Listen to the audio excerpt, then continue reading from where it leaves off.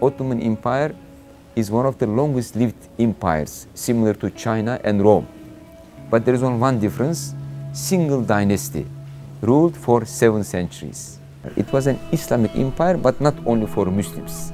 Uh, so there were Christians, Jews uh, living uh, in the empire. So this is what I call open uh, civilization. So this openness to all races, to all religions, to all mazhabs, to all tariqats, you know, uh, this is what made Ottoman Empire strong and survive for seven uh, centuries.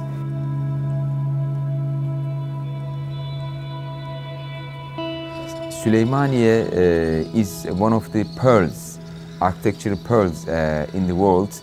It was uh, built in 1557 by the architect uh, Sinan with the orders from Süleyman the Magnificent. Uh, so since then, it served as one of the most prestigious educational institutions in the world. So it was comparable to Oxford, Cambridge and Harvard today from the 16th century until the 19th uh, century. So Allah Ta'ala put some kind of barakah, you know, uh, in this uh, complex. so everyone is attracted, Muslims, non-Muslims, everyone loves uh, Süleymaniye. Uh, so I call Süleymaniye the crown of Istanbul.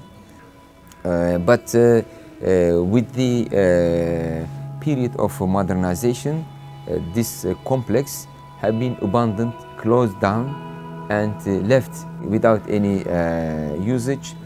So today, like uh, in the Muslim world, it's very important for us, you know, to save and renovate all these beautiful architectural monuments, but more importantly, to save and renovate the hearts.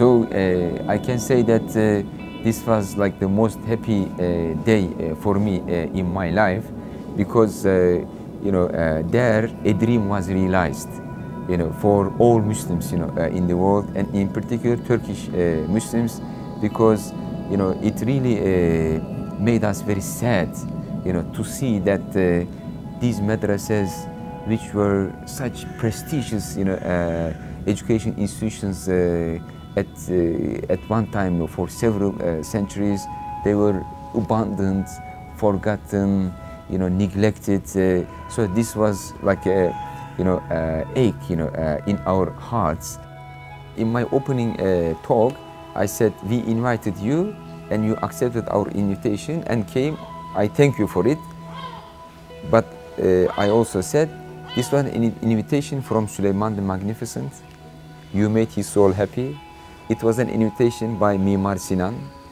You know, uh, he, he, you by coming, you made his soul uh, happy.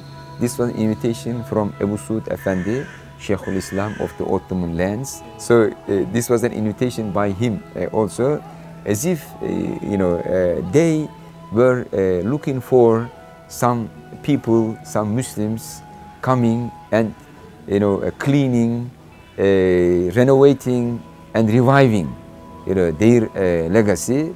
Uh, I'm sure you know, uh, they are very happy, their soul is very happy. If you analyze it, it's a very significant, very significant, like religiously, history of education, you know, in many, many uh, aspects, you know, it's a very significant uh, event, uh, alhamdulillah. And Allah Ta'ala used us, you know, for this. So Alhamdulillah, it's a great uh, honor, you know, uh, and great blessing uh, for us, you know, uh, to serve uh, such a cause, uh, inshallah. Alhamdulillah.